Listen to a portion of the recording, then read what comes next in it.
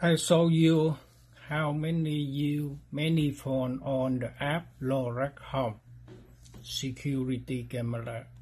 Lorex Home. You remember the first phone? You download the Lorex Home and you register the Lorex Home. After that, you register and you need to uh, you to add the camera system in your home and you you go to here right? And I add ready. I had two system I add ready here.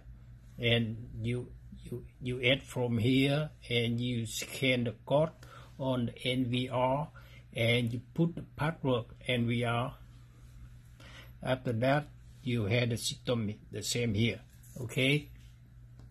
And if you want to add more system you make the same. And you had two system the same okay?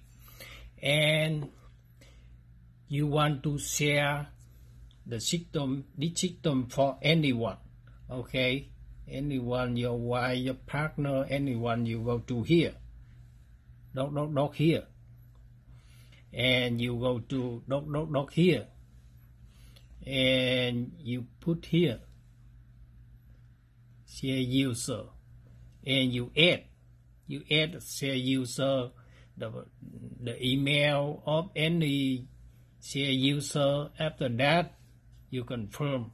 You confirm the email. And your partner and your par- partner register the app. Lorex Home.